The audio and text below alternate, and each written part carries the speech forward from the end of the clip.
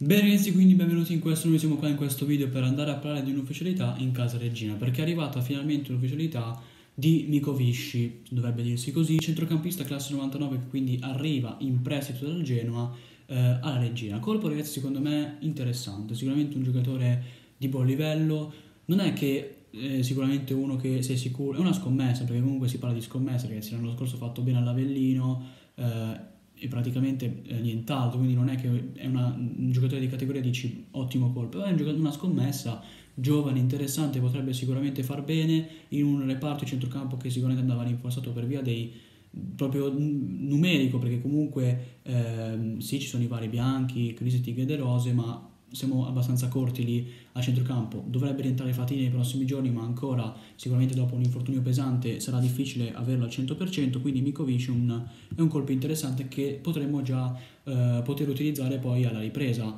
Eh, quindi sicuramente è un colpo ragazzi ehm, che potrebbe dare veramente una grande mano. Sinceramente, ripeto, a me come profilo piace, è un giocatore interessante, non è un, grande, non è un fenomeno, è un buon centrocampista che sicuramente potrebbe dare eh, una mano importante.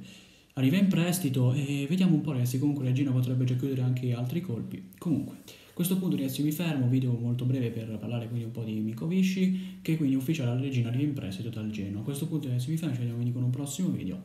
Ciao ragazzi.